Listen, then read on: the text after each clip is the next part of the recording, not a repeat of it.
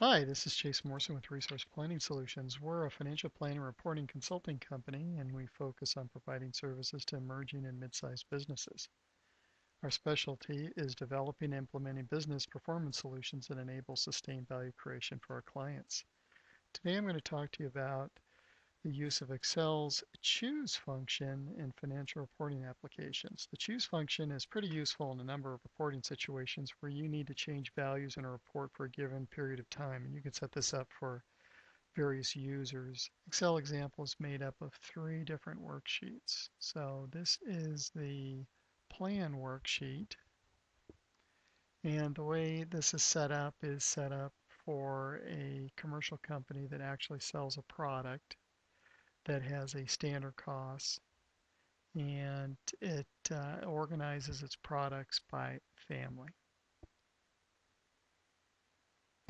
And generally, uh, products that are within a family have a similar average sales price and cost so that you can kind of analyze them together. So in this example, I have product family A, product family B, and within product family A, then I have two separate products. I have product A1 and product A2, and then the total of family A.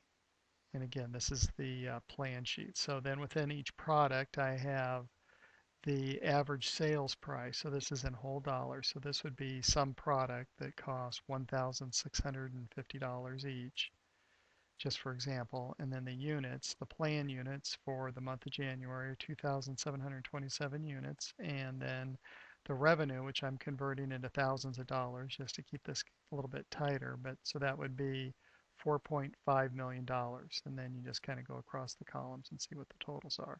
Costs are the ASPs are here, so this one has a $1,650 ASP, this one has a little bit lower ASP, so who knows why, uh, might be targeting a lower market or whatever. And then this is the total of the uh, two products within the one family.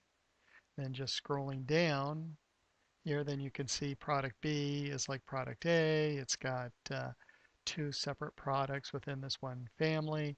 You can see though the ASPs are a little bit different. Maybe this is a lower technology uh, option or it's targeting a different market or whatever. And then underneath that, then I have some other things that aren't really in a family per se. So I've got uh, say some different types of accessories. So this is a really expensive accessory. This is a very inexpensive accessory. And then there's just some other adjustments. And then I get to my uh, my overall revenue plan, which is down here at the bottom. So I'm showing that I have that would be $15,082,000 in revenue in the first month. And I have $11,186 or 11,186 units, uh, and the average ASP is $1,348. Then on the next tab I have are the actuals. So this is where I would theoretically be recording all my actuals. So in this hypothetical example, I have uh, four months of actuals. So I'm into the second quarter. So this is a uh, business that goes January 1 to December 31 as their fiscal year. And I have a full quarter's worth of data plus one month and one uh, one quarter. All right, and um, then this is giving me my actual my actual ASPs and revenue. So in the month of January, I had uh, $4.6 million of revenue for product one.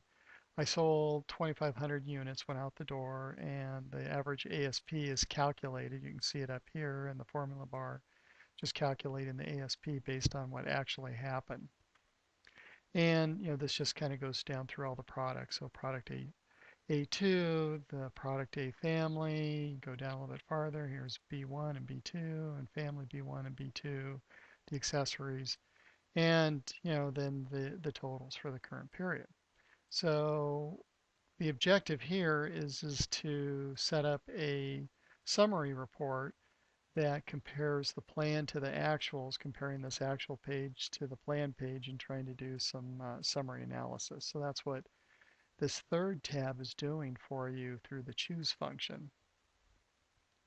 So on this tab, we basically, we have our summary of all the activity on those other two tabs on the plan and the actual. So uh, this is set up down here to look at a couple of cells that I've created. And uh, the cells that I'm looking at are this cell here. So I have this beginning month, which means the it's the first month that I want in my range for my report. And then the end month is my last reporting month that I want to see. And these two these two cells here basically control the range of the analysis on the report. And that's what makes this nice. So if I just wanted a report, say, that was looking at January, I would put in a 1 here. And then if I put in a 1 here, okay, then it completely changes my report up here at the top. So now you can see that I have my January revenue, 4.5 million for product 1A, and then for pro, and then this is the units, and as you recall, the ASP.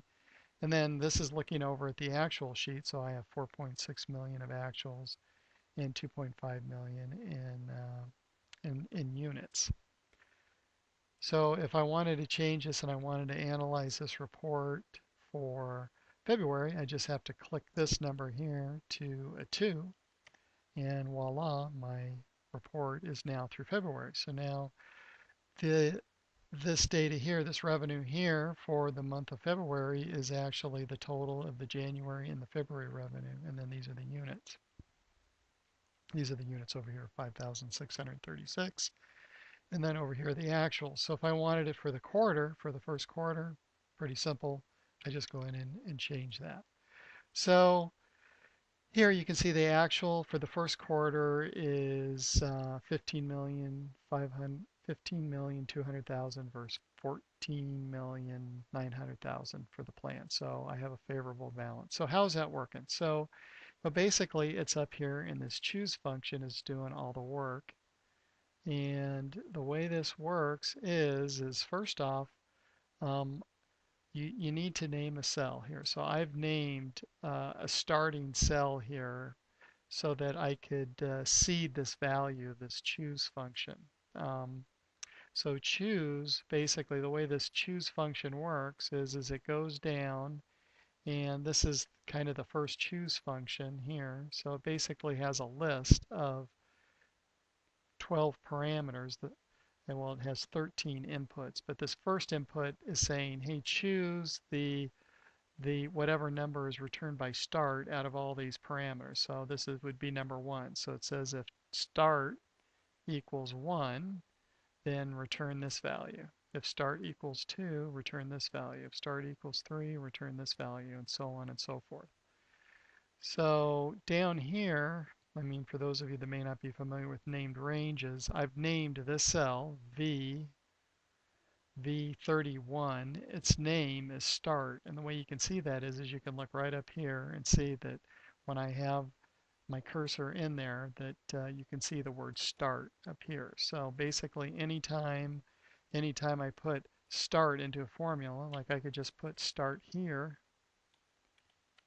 say start equals and it returns 1 because when I do that, this formula now is looking at this cell.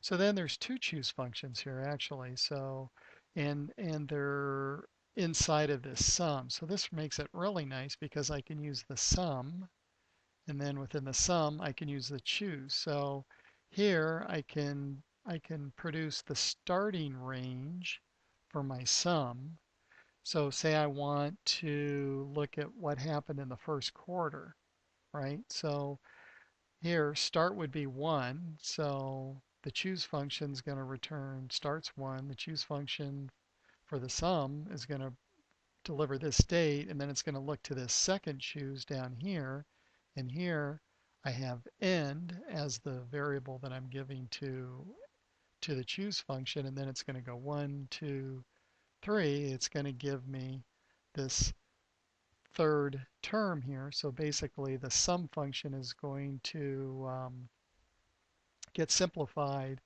to that range from from the plan, plan F7 to plan H7 on the uh, on the plan revenue chart. Okay.